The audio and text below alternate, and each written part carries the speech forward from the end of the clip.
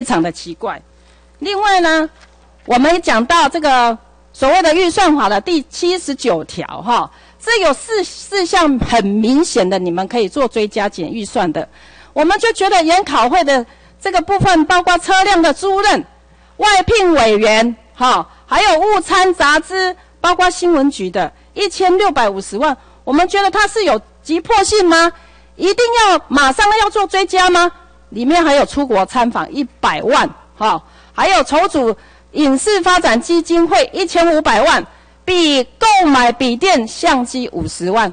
好，我们觉得哈，如果你是你是这样来运用哈的话哈，你前面灯会挪到哪里去了？后面没有钱，你用这个再让我们追加完以后，你再东挪西挪哈，东呃这个把东墙挖来补西墙。我们这样的方式，我觉得很很奇怪哈。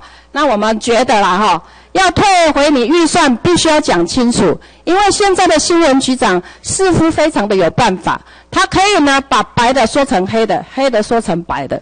所以呢，我们今天一定要跟市民讲清楚，你们是违反了什么哈，我们才退回去的。拜托一下，来来来哈，你是违反了第七十九条哦。好，在这里我们拒绝非法追加预算。然后在这里拜托一下，不要哈，到时候呢，我们呃议会结束呢，结果被你抹黑成我们国民党籍的议员是在背革你，是在呢反对你的追加预算哈，拜托写清楚讲明白，你是违反了第七十九条的任何的追加减预算的法条四条。好，请坐，苏先坐。好，请坐。陈志远，陈志远，请问。感谢啊，感谢一定啊，市长，还有各局处的首长、议会同仁、各位媒体记者先生、女士，大家午安哈。市长，请教一下哈，这本追加减追加减预算是你受益的，还是让他们各局处首长自由发挥的？请回答一下。啊，主席啊，还议员。当然是根据我们啊施政的方向哈，尤其是我们提出新的政见，那当然民主政治就是责任政治啊，反映在预算上。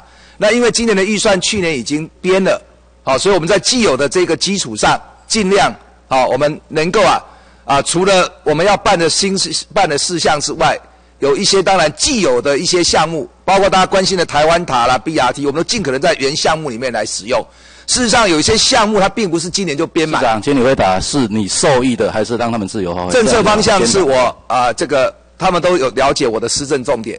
那么由各局处会诊，然后经过财主单位，我想财政局长跟主计处长市长我了解，也在台中市府服务相当久。谢谢你，一定是秉持要依法行政来办。谢谢谢谢，好，谢谢谢谢。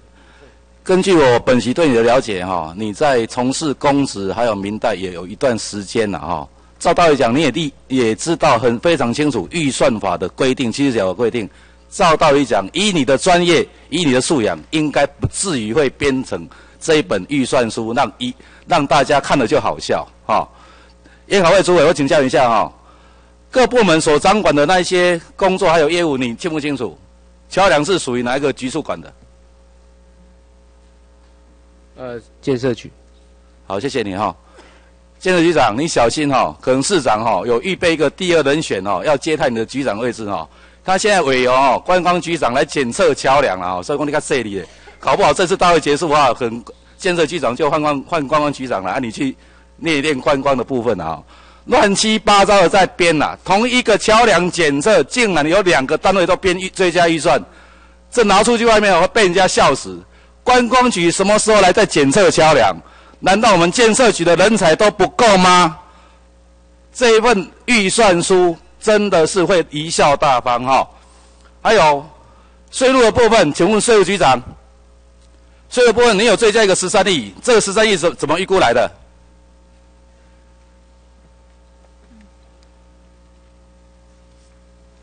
跟跟议员说，哦好，议长啊，各位议员跟各位说明啊，我们。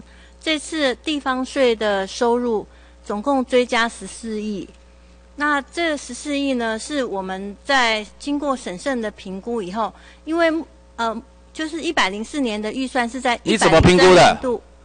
怎么样的评估？啊我们有有有去参考去年的实增数，还有目前我们各项的建设，还还有就是税法修正等等因素。就本席的观察哈、可能是拿一个数字给你，然后硬要把它凑成这个十四亿了哈。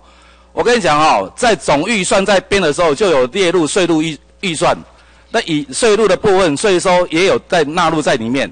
你光一个追加预算就可以编十四亿的追加税入，你要难道你要卡市民的钱来做来做建设吗？对不对？有些时候市民赚钱很辛苦，你又要增加税收。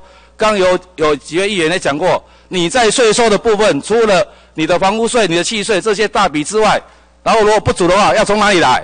还是说从东抠西抠，然后抠到最后面怎样？其他收入要要那边要要想办法要要要把它增加，这种行为哈、会让市民。